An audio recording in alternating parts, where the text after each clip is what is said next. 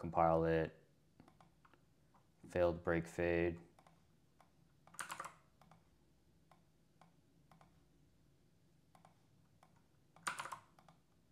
And inside pressure. All right.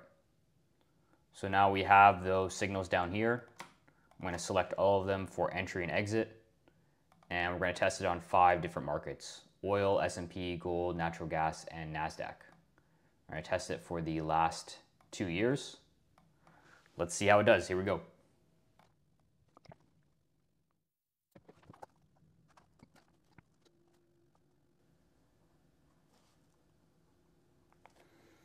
All right, so we got our results. Now this is for long trades only. So if I go to the combine tab here, let me sort by return to drawdown.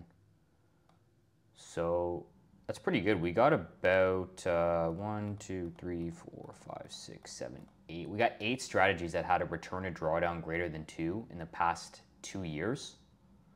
So that's solid. Oh, we actually had one here the reason why it's gold is in and out of sample, it actually had a greater than 2.0 return to drawdown. So there is some validity here with these strategies. We'd have to try the short side as well. Obviously, long strategies, especially on S&P, gold recently, uh, NASDAQ, they're going to perform better. But finding the short signals is actually tough as well. So there's the long side. We found eight candidates. Let's try the short side. So I'm going to change this to short and keep the same signals. And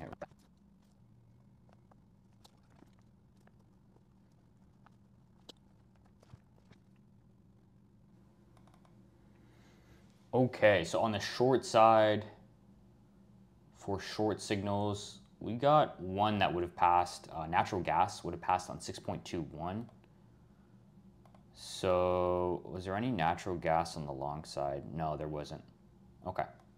So yeah, net net, there definitely is some alpha on the long side. However, I don't personally trade long only strategies. I like to have short signals as well. So for me to trade a short side, it would have to be a different type of signal, uh, either outside of TJR or getting, you know, getting ChatGPT to generate more signals. So there is some potential, and uh, with TJR strategy, but personally, you know, there would have to be a lot more work to test and build a full strategy together. Uh, here we use custom signals in StratGen to test these strategies. So if you want to test your own uh, custom signals, maybe you have a online personality that you follow and you want to test their systems, Uh, it's very easy to do with StratGen.